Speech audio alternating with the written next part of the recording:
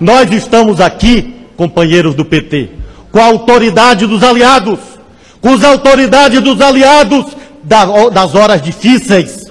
Eu sou do PCdoB, o PSB é da base do governo, o PT do Maranhão cometeu um pecado, resolveu democraticamente e por maioria trilhar um caminho próprio, construir uma aliança para apoiar a minha pré-candidatura ao governo do Estado.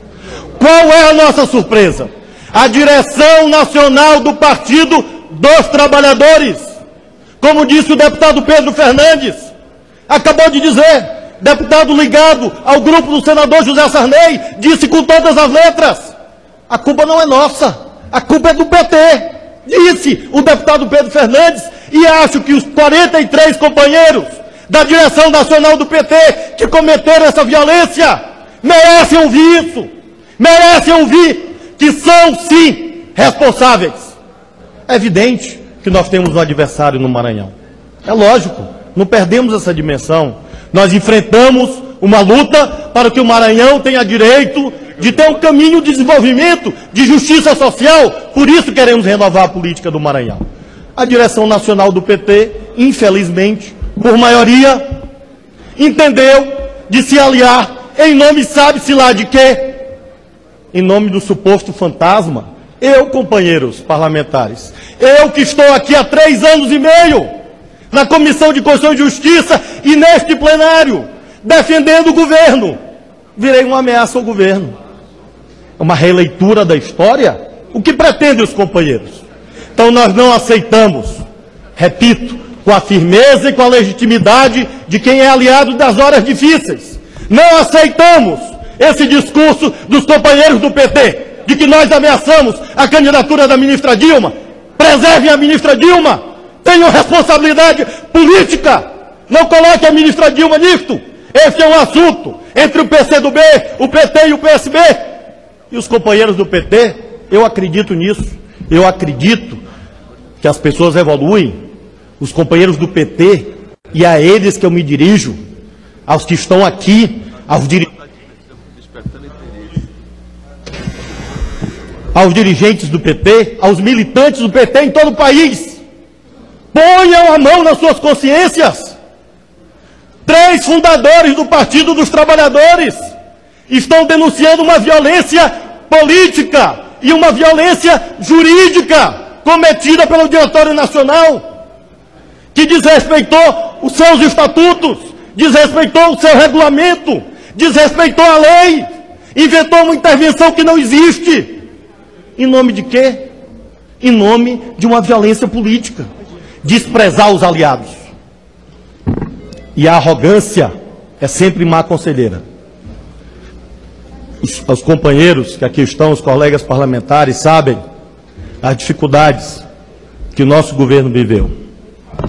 E sempre a arrogância é má conselheira. É hora de humildade, hora de humildade e hora de reflexão. Peço que Vossa Excelência conclua, deputado Flávio Dino. De responsabilidade. Eu reafirmo, com toda a serenidade e toda a tranquilidade. Eu aprendi porque eu cantei em 89 que a esperança vence o medo. Então eu não tenho medo. Eu acredito na esperança. E é em nome dessa esperança que eu me dirijo aos companheiros do PT. É em nome da esperança de quem acredita, de que os companheiros irão rever a sua posição e ser solidários. Não é um valor socialista, companheiros, a solidariedade. E aqui agora para cumprir com o dever de lealdade.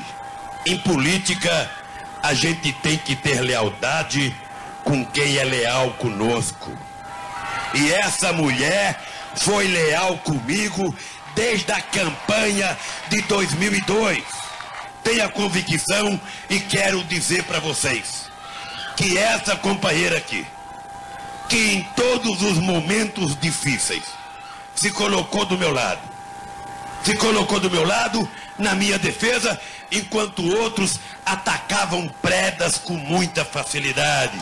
Ainda tem gente que deve estar zangado porque nós estamos aqui, sabe? Presidente companheiros e companheiras, são os mesmos brasileiros e brasileiras que eu sabei costumam utilizar. Vote na Rosiane Tanei para governadora do estado. Muito obrigado, meus companheiros, e até a vitória.